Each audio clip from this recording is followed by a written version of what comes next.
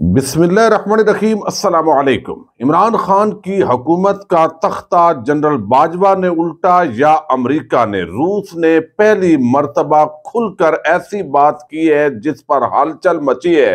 इसकी तफसील आपके सामने रखनी है। इमरान खान को शिकस्त देना नामुमकिन होता जा रहा है। राना सनाउल्ला ने टीवी प्रोग्राम के अंदर बड़ा एतराफ कर लिया है। इस एतराफ करने के पीछे क्या मामला है, ये भी आपको बताऊँगा। अरशद शरीफ शहीद की बेवा के खिलाफ एक बड़ी मनफी मुहिम शुरू की गई। एफ़ आई ए के सामने वो किस तरह फट पड़ी है और उन्होंने एक दरखास्त दी है, इसका मुख्तसर मतन पहले आपके सामने रखना ज़रूरी है और मैं उम्मीद करूँगा इंतहाई आम वीडियो है, आप समाप्त करेंगे और अपने कीमती फीडबैक से ज़रूर आगाह करेंगे। अरशद शरीफ शहीद, आपको इल्म है, जिस तरह पाकिस्तान पर कुर्बान हुआ, उनके लिए बड़ी आफर थी।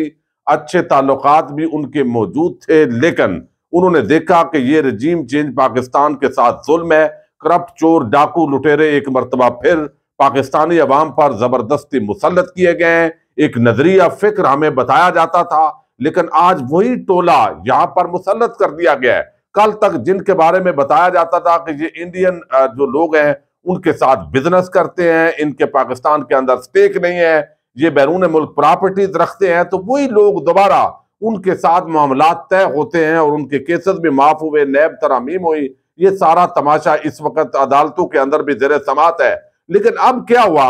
अरशद शरीफ शहीद की एक बेवा है यानी आपने वो भी जुल्म हो गया, यानी एक बंदा जो है उसको पाकिस्तान टिकने नहीं दिया और फिर वो दुबई जाता है। दुबई के अंदर भी उसके लिए मुश्किल खड़ी की गई, फिर वो कीनिया जाता है। कीनिया के अंदर उसकी शहादत हो जाती है और फिर इस पर जो इन्वेस्टिगेशन होती है, जो टीम बनती है, जो आगे मामलात बढ़ते हैं फैक्ट फाइंडिंग कमेटी जो रिपोर्ट देती है, उसके अंदर बहुत सारे सवाल खड़े किए गए और अब सुप्रीम कोर्ट ऑफ़ पाकिस्तान ने भी उस तरफ़ इंदिया दिया है। लेकिन अब उनके जो घर वाले हैं, पीछे बच्चे हैं, उसकी बीवियाँ हैं, उनको भी चैन के साथ नहीं रहने दिया जा रहा। नून लीग और बाकी जो कुछ सोशल मीडिया एक्टिविस्ट हैं, उन्होंने एक नया मुहिम चलाई जो कि इंतहाई बेशर्मी पर मबनी मुहिम थी, जिसके खिलाफ बिल आखिर जो जवेरिया सदीक हैं, उनको जाना पड़ा एफ़ आई ए के पास। अब उसके अंदर उन्होंने जो दरखास्त दी है, वो मुझे कुछ अल्फाज में हजफ कर दूँगा, वो आपके सामने नहीं पेश कर सकता। उन्होंने लिखा, बखिदमत जनाब डायरेक्टर साहब F I A cyber crime Islamabad. और ये भी तो है कि साइबर क्राइम जो है, जिसके अंदर नून लीग के कारकुनान होंगे, पीपल्स पार्टी के होंगे फजल रहमान की पार्टी की होंगी, उनके खिलाफ एक्शन नहीं लेंगे। पीटीआई के खिलाफ जो है वो एक्शन भी होगा, गिरफ्तारियाँ भी होंगी, रियासत मुखालफ और दुश्मन जो हामी समझेंगे, उनको बनाया जाएगा। दरखास्त बरए किए जाने कार्रवाई बरखलाफ जिम्मेदारान। जनाब आली आगे वो लिखती हैं, गुजारिश है साइला अरशद शरीफ शहीद की बेबा है और इस्लामाबाद में रहश पजीर है। अपने शौर अरशद शरीफ की शहादत के बाद साइला ने अपने आप को न सिर्फ़ शरी व कानूनी एतबार से मुकम्मल तौर पर इद्दत में पाबंद रखा, मगर साइला को बदनाम करने और यानी सारा वो कहते हैं शरी तौर पर जो इद्दत के दिन होते हैं, वो घर में उन्होंने उस तरीके से गुजारे। लेकिन साइला को बदनाम करने और साइला की किरदार कशी करने की गरज से बाकायदा तौर पर मनसूबा बंदी करते हुए कुछ नामालूम अफराद ने साइला के बारे में ट्विटर पर मुख्तलिफ़ अकाउंट से प्रापोगंडा शुरू किया हुआ है, जिससे न सिर्फ़ साइला की जात की तोहन की गई, बल्कि साइला की मुआरे में गलत अफवाहें फैलाकर साइला और उसके खानदान और शहीद शौर का मनफी तासर पैदा करने की कोशिश की जा रही है। जैल अकाउंट से जो तोइन अमेज ट्वीट किया गया, रीट्वीट किया गया, वो आपके सामने रख रहा हूँ। अब इसके अंदर उन्होंने तकरीबन 25-30 ऐसे ट्विटर अकाउंट्स हैं, जिनकी निशानदेही की है साइबर क्राइम को, और उसके अंदर उन्होंने लिखा है कि उनकी किसी पीटीआई के आम रहनुमा से शादी के हवाले से ये ट्वीट की गई कि दौरान इद्दत ये कर लिया गया, और फिर इमरान खान को भी इस पूरे मामले के अंदर टारगेट किया गया है। उन्होंने कहा कि इनके खिलाफ एक्शन ले। आप देखते हैं कि ये एक्शन कब लिया जाता है, चूँकि ऐसा बहुत कम नज़ायर मिल रहे हैं आजकल कि किसी शख्स के हवाले से जो आम पाकिस्तानी है, उसको भी रिलीफ दिया जा सके। दूसरी तरफ़ हमने देखा कि राना सनाउल्ला आप बाकायदा तौर पर ये तस्लीम करना शुरू हो गए हैं कि जो हम आए और उस वक्त हमें डराया, धमकाया गया था, मुख्तलिफ़ नून लीग के लोग माने कि जनाब अगर आप ना आए तो इमरान खान जो है वो तो आगे सदर बन जाएगा, फिर वो अगले पाँच साल, दस साल के लिए नहीं जाएगा। आप सारे जेलों में गल सड़ जाओगे। लिहाजा आप हमारी मदद करो और इमरान खान को हटाना है। ये तासर खुद जावेद लतीफ और दीगर रहनमा दे चुके हैं। अब इस पूरे मामले के अंदर अब आप देखिए, जो बड़ी हिम्मत दिखा रहे थे, अब बड़े बड़े जलसों के बाद मरियम नवाज़ जो है, वो आ गई हैं जलसियों पर। यानी वर्कर्स कन्वेंशन उसका नाम रखा जाता है, दावत सबको दी जाती है। लेकिन अब इलेक्शन से पहले भागे कि हमने जिमनी इलेक्शन भी नहीं लड़ना। उसके अंदर देखा गया कि पीपल्स पार्टी जो है, वो बाहर थी। पहले नून लीग और बाकी फजल रहमान उन्होंने कहा, जी, इतना खर्चा भी करना है, हारना भी है। इससे इमरान खान का बयानिया और तकवीत पकड़ेगा कि चूँकि उसको इलेक्शन के मैदान में हरा नहीं सकते, इस वजह से उसको नायल किया गया और ये किया गया। अब उसके अंदर पीपल्स पार्टी नहीं मान रही थी, अब वो भी मान गए हैं। यानी वो भी अब इलेक्शन से भाग गए हैं कि पीटीआई के मुकाबले के अंदर हमने इलेक्शन नहीं लड़ना इन जिमनी इंतबात के अंदर जो इस्तीफे हुए हैं। अब यहाँ पर राना सनाउल्ला, जिसको बड़ी गर्दन के अंदर आपको इल्म सरिया भी है, उसने पहली दफ़ा ये तस्लीम किया है और मैं चाहूँगा कि वो जो क्लिप है, वो जरा बड़ा मज़ेदार है, आपको सुनाऊं। यानी ये जो क्लिप है आपको जो है वो अब आवाम में जाके आ, शायद वो आ, जो है वो अपनी पोजीशन गेन ना कर सके। जो पहले करती रही है या जो हमारी ख्वाहिश है कि हम इस तरह की कामयाबी जो यानी ये उनका जो खुला एतराफ है कि इलेक्शन के अंदर से वो क्यों भाग रहे हैं? ये मुसलसल उनसे सवाल हो रहा है भाई क्यों भाग रहे हैं? तो उसका एक जवाब जो है ये इन अल्फाज के अंदर मायूसी के साथ वो दे रहे हैं कि मुस्लिम लीग नून जो है अब शायद आवाम के अंदर उस तरह ना जा सके। शायद वो इस तरह जो हमारी तो है, वो पूरी ना हो। यानी आप इसका मतलब है कि आपको इल्म है, आप तस्लीम कर गए हैं। दूसरे सांस में कहते हैं कि इमरान खान टहरियान केस में न्यायल होगा, दूसरे केस में न्यायल होगा, गिरफ़्तार होगा। यानी एक तरफ़ गिरफ्तारियों और न्यायालय से डरा रहे हैं, दूसरी तरफ़ मान रहे हैं कि अवाम में जाने के काबल नहीं है। फवाद चौधरी ने जो गुजश्ता रोज बात की कि आपको अंडे और टमाटर पड़ेंगे, मरियम बीबी, अगर आप अवाम के अंदर जाएँगी तो वो गुस्सा आपको नज़र आएगा। और अब तो जो आज से मिनी बजट अप्रूव होने जा रहा है और उसके बाद जो अशिया खुर्दो नोश के अंदर और तमाम पेट्रोलियम मसनूआत से लेकर बिजली, गैस सब महँगी होने जा रही है। आम आदमी बेचारा जो है, वो तो और पिछकर रह जाएगा।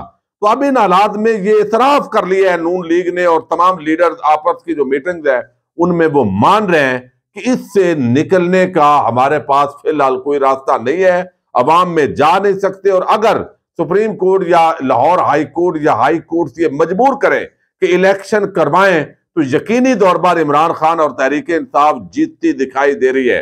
यही वजह है कि गवर्नर पूरी तरह कोशिश कर रहे हैं कि बेशक आइन को रोंदना पड़े। तो जो है वो तो इन्हें अदालत भी लगवानी पड़े तो फ़िलहाल इलेक्शन की तरफ़ ना बढ़ा जाए, क्योंकि गवर्नर तो एक वैसे आपको इल्म है आइनी होता है, बड़ा काबिल एहतराम लेकिन उसका पीछे जो रिमोट कंट्रोल है वो दरअसल जो है वो जाति उमरा के अंदर है। अब एक और बड़ी खबर है और इस पर आप देखते हैं, आए रोज जनरल बाजवा साहब भी कालम लिखवा रहे हैं। इमरान खान अक्सर अपनी तकरीरों के अंदर पहले दिन से जो रजीम चेंज हुआ, उस पर गुफ्तु करते हैं, लेकिन अमरीका के हवाले से भी बात हुई। अमरीका ने क्लैरिफिकेशन भी दी, लेकिन साइफर जो था वो एक हकीकत था, इसका इनकार नहीं हो सका। लेकिन वो साजिश जो है, दरअसल उसके जो आगाज़ है या वो जो प्लान था, आप साजिश कहें, मुदाखलत कहें प्लान कहें, जो भी, उनवान उसको दे लें। लेकिन असल मसला ये था कि इमरान खान की हुकूमत को बदलना है। उसका आगाज़ कहाँ से हुआ? पाकिस्तान से, अमेरिका से। इमरान खान ने कहा, जी, आगाज़ पाकिस्तान से हुआ। अमेरिका ने अपना किरदार अदा किया। ये बात उन्होंने की तो लोगों ने चोर शराबा शुरू कर दिया। उन्होंने कहा, देखा, इमरान खान पहले तो ये अमरीकी साजिश की बात करते थे। अब भी भाई वो वो बात तो कर रहे हैं। लेकिन रूस का इस पर जो मौकफ आना बड़ा ज़रूरी था। अमेरिका तो अपने आप को रूसी सफीर जो है, उन्होंने एक मौकफ दिया है और ये बड़ा वाज तौर पर पहली मरतबा जो है, वो ये मौकफ आया है। जहर ऑफिशियल मौकफ है जो उनका तजिया है, जो उनकी इंटेलिजेंस के पास खबरें होंगी। चूँकि इमरान खान का जो रेलिवेंस है, वो रशिया दौरे के साथ है। रूस के दौरे से वो आए, उनको जनरल बाजवा साहब ने जो है, वो कहा, जनाब हमने तो रूस की मुखालफत करनी है, उसने जारहियत की है यूक्रेन पर। तो वज़ीर आज़म ने कहा, भाई, मैं तो अभी दौरा करके आया हूँ। दौरा करने से पहले आपको एतमाद में लिया आप सब कहते थे, ठीक है, आप हमें जाना चाहिए। अब मुझे भेज के आप ये करना चाहते हैं।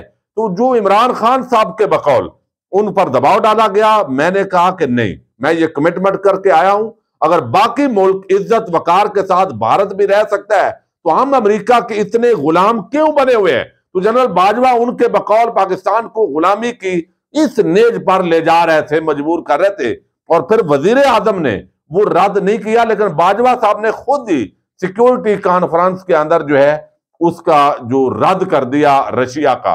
और ये वज़ीर आज़म के खिलाफ एक पहली बड़ी बगावत थी एलानिया तौर पर, लेकिन मीडिया ने पूरा फोकस उस पर ना किया।